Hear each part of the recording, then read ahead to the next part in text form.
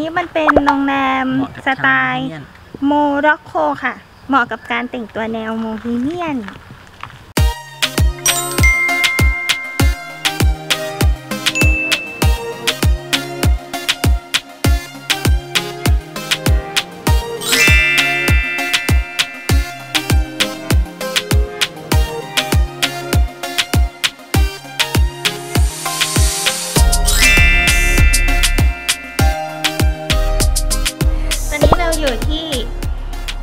ฟีด้าไฟฟีด้าไฟเดย์โฮเทลที่พักของเรา ใช่ใช่อะไปนักขึ้นไปดูข้างบนดีกว่า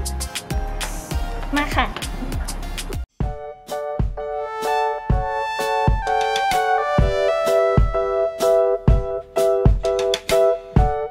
เดี๋ยวเราไปดูกันนะคะ ถ่ายรูปเป็นยังไง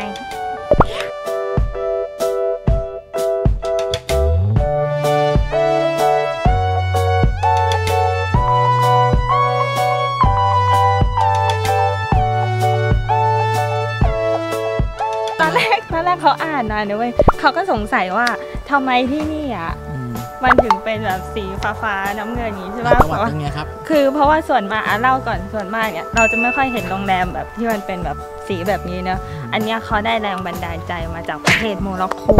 มันจะมีเมืองเมืองหนึ่งจำชื่อไม่ได้แล้ว แต่ว่าพอแบบเข้าไปในเมืองเขาอะเนี่ยแบบนี้เป๊ะๆเลยสไตล์แบบสีฟ้าฟ้า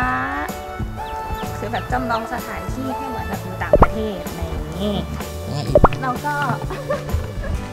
เราจะนึกไม่ออกแล้วพูดจบแล้ว เราไม่ต้องไปถึงโมร็อกโกนะคะ เพราะว่าตังค์ไม่มี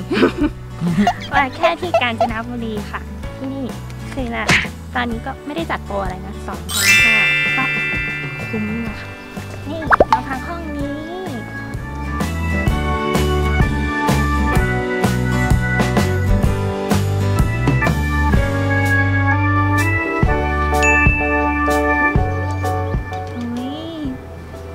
พักสวยมากเลยค่ะ ดูข้างในสีขาวอ้าวของเต็มของเรียกว่าของเต็มไปหมด โอเค เดี๋ยวเราไปดูในห้องน้ำกันนะคะ นี่ เริ่มที่กระจกเลยดูหอมมากส่องแล้วหอม กระจกของ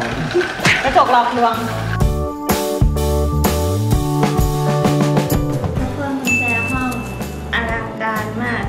ว่าดอกมันจะมีแค่นี้ก็เถอะ ถ่ายรูปค่ะ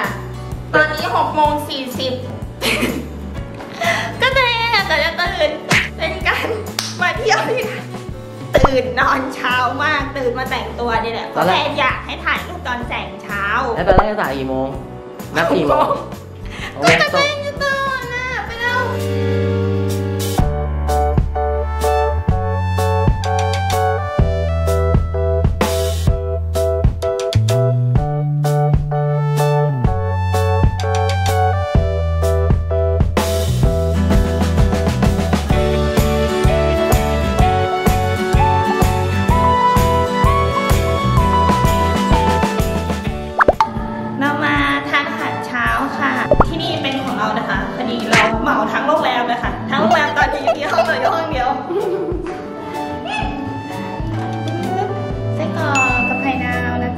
นหมดนี่เลยกินหมดนี่เลย โอเค อันนี้หืมผัดนกค่ะ ใช่เหรอ ใช่แล้วผัดนกเครื่องดื่มนะมีน้ำอัญชันน้ำกระเจี๊ยบออนตีนนมน้ำส้มมีผลไม้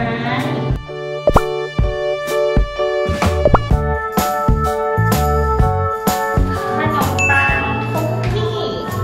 หมูปิ้งรอเลย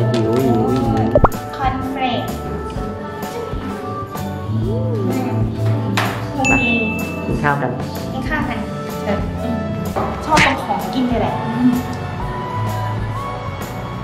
สลัดผลไม้ค่ะ ดูนี่ยังคีบไม่หมดเลย แต่ว่าเอาแค่พอกินก็พอนะมาราดน้ำสลัดแล้ว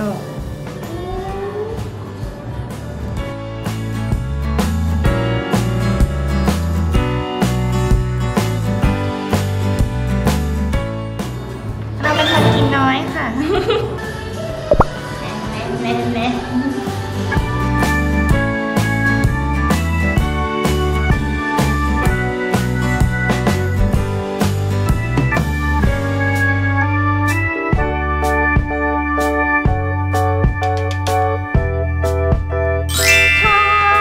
มถ่ายเสร็จยัเสร็จแล้วอยากถ่ายต่อแต่ว่ามันหมดเวลาแล้วอะ เดี๋ยวเราไปเที่ยวที่อื่นกันต่อดีกว่าค่ะ ไป หอมคณะคาเฟ่ค่ะ คาเฟ่เปิดใหม่มีเป็นแบบสวนคณะมันเปิดใหม่ปะวะเออมันก็มันก็เปิดมันก็ถือว่ามันก็ยังไม่เก่าป่ะเออนั่นแหละ เดี๋ยวเราไปดูกันว่าจะสวยขนาดไหนไปค่ะบ๊ายบา